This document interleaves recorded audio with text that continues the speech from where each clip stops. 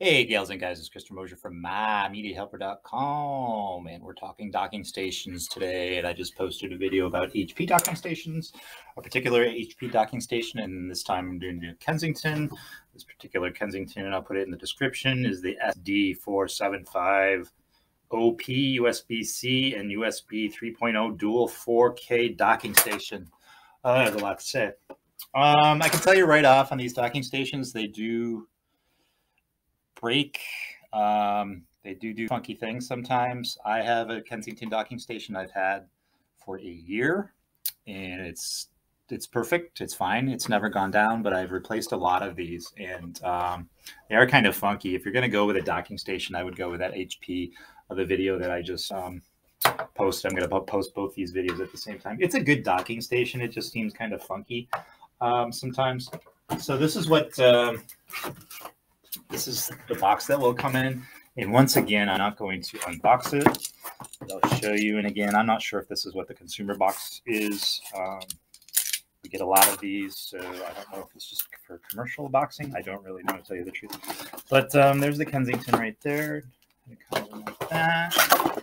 And then you got your power cord, and then the uh, cord that you would plug into your um, PC, which I'll, I'll show you just a sec. Now, with that said, that's one of the good things. I mean, it's not the only one of the good things. Kensington's not a bad docking station. Um, the one of the good things, which I'll show you in just a second. Um, here's the power cord. So again, same as same as the HP. I like how it's um, it's a two unit thing. It's not all in one. All right, and then we'll get this sucker downstairs and plugged in actually. And just as before, I'm going to assume that you know how to plug in a plug on a power supply. So I am not going to film that. So I'm going to disappear for just a few seconds and um, while I go down and plug that in. All right, entertain yourselves, lovely, lovely. Ooh. And I hope I plug in the right one because I got two down here now. Mm-hmm. Mm-hmm. Mm-hmm. There it is. Okay. All right. All right. And let's plug it in here. And the blue light is on, so that means we've got power.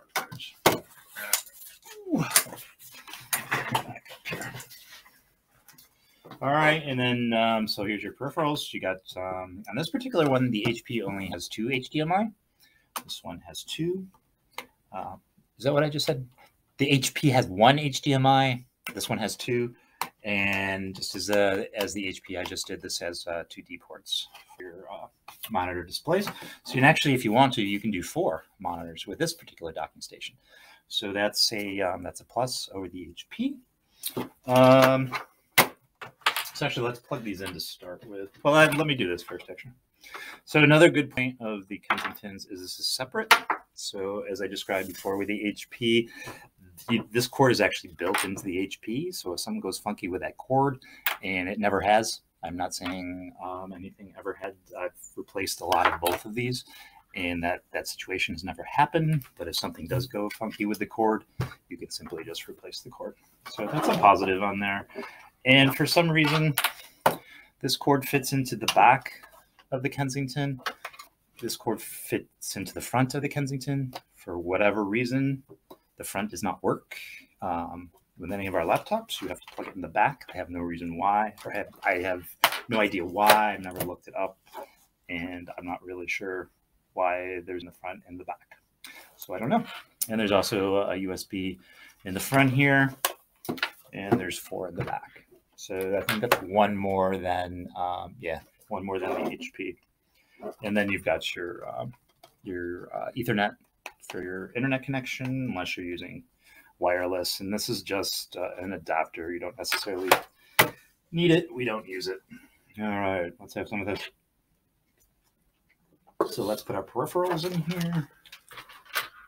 All right.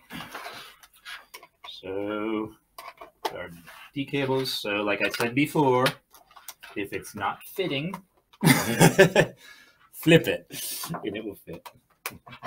All right, and you can put your um, your keyboard and your mouse and whatever else you need to uh, right there. All right, and, and, then this piece goes in So these are all universal. Both the HP and the Kensingtons are universal docks, so they will work on um, Macs. They will work on um, PCs.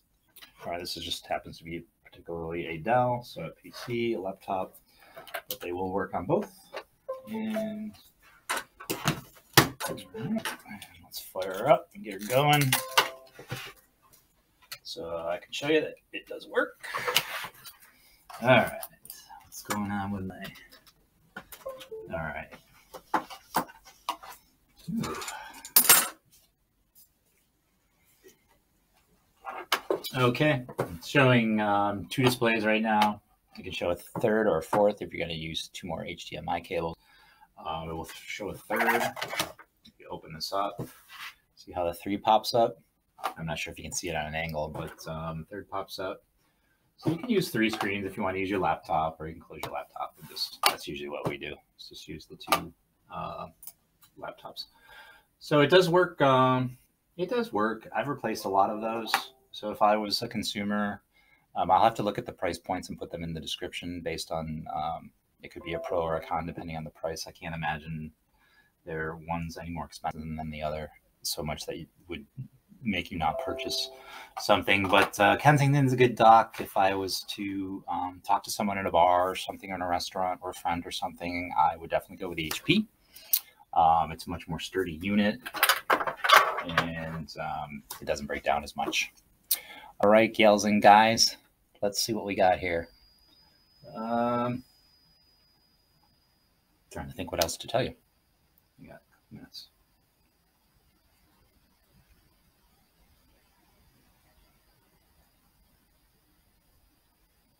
All right, I'll have to figure it out.